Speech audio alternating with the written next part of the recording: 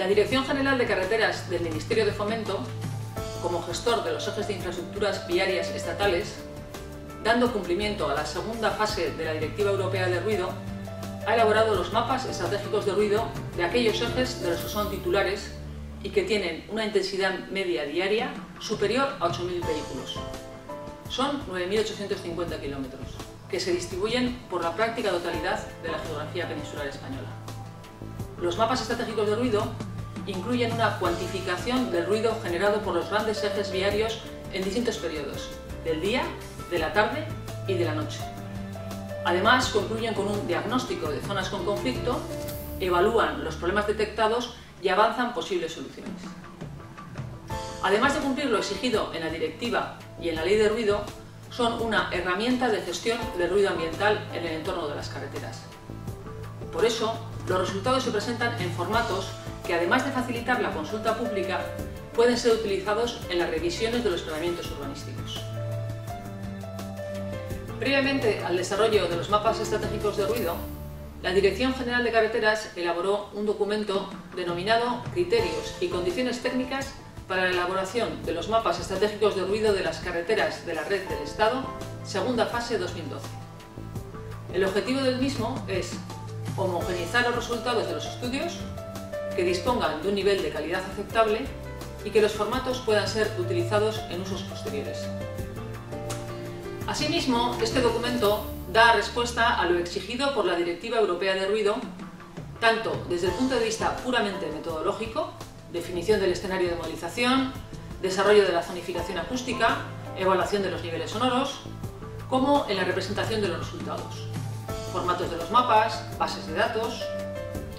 El documento fue elaborado por CEDEX, en colaboración con Tecnalia. En él se identificaban los aspectos que se consideraron críticos y se determinaba la forma óptima de resolverlos. Estos estudios cumplen también las últimas recomendaciones de 2013 de la Conferencia Europea de Directores Generales de Carreteras, en cuya elaboración la Dirección General del Ministerio de Fomento tomó parte activa. Los mapas estratégicos de ruido de la segunda fase han sido realizados por cinco empresas diferentes. A lo largo de los más de 12 meses que han sido necesarios para la realización de los estudios, se realizó un control tanto de la modelización como de los mapas y datos resultantes. Este control de calidad fue llevado a cabo por un equipo multidisciplinar formado por personas de CEDEX, de Tecnalia y de la propia Dirección General de Carreteras. Tecnalia realizó un asesoramiento técnico en materia de control y calidad de la información recibida. CEDEX realizó el seguimiento de los trabajos, el análisis de la información, la relación con las adjudicatarias y la toma de decisiones en cuanto a la validez de los resultados. Por último, la Dirección General de Carreteras es la responsable última de la calidad de los resultados entregados a Europa. El procedimiento seguido por el control de calidad ha buscado el equilibrio entre la necesidad de evaluar la calidad acústica de los trabajos y el límite en la complejidad del proceso de recepción y aceptación de resultados obtenidos en los mapas. El control de calidad se desarrolló durante todo el proceso de elaboración de los mapas de ruido, mediante hitos que permitieron avanzar sobre seguro a lo largo de todo el proceso. Las entregas de las diferentes consultoras se coordinaron para avanzar los trabajos en paralelo. El control se centró en tres niveles fundamentales. En primer lugar, plan de trabajo, datos de partida y el tratamiento para su incorporación en el modelo de cálculo. En este punto se analizó el plan de trabajo de la consultora y los datos de entrada de los mapas, su calidad, disponibilidad y las soluciones propuestas en caso de no ser óptimas. En segundo lugar, se estudia el modelo acústico para el cálculo. Se revisaron los proyectos elaborados acorde al software acústico utilizado por las empresas responsables del cálculo de los mapas estratégicos de ruido. El objetivo consistía en comprobar que los escenarios modelizados se ajustaban a la realidad de la zona. Dado el volumen de información, el control de calidad comprobaba la correcta aplicación de las simplificaciones asumidas. Asimismo, se revisaban los procesos automáticos utilizados para el montaje de los proyectos.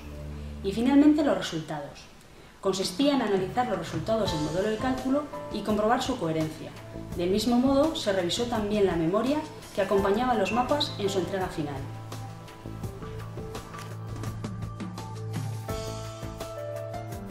Con todo ello, Tecnalia realizaba un informe de control de calidad sobre el contenido de los documentos revisados. En dicho informe venían reflejados, entre otros, los siguientes aspectos.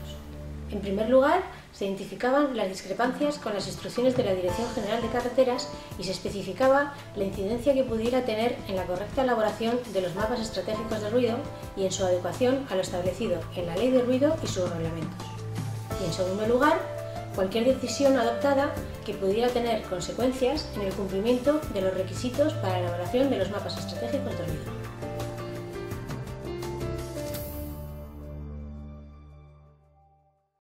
Estos informes se enviaban al CEDEX, donde se analizaban y se tomaban las decisiones oportunas en cuanto a la continuidad o no de los trabajos, intentando que el resultado final cumpliera con unos criterios mínimos de calidad y homogeneidad y que los datos finales aportados a Europa fueran correctos.